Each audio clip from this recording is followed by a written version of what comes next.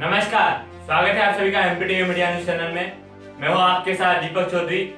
चलिए शुरू करते हैं हेडलाइंस के साथ।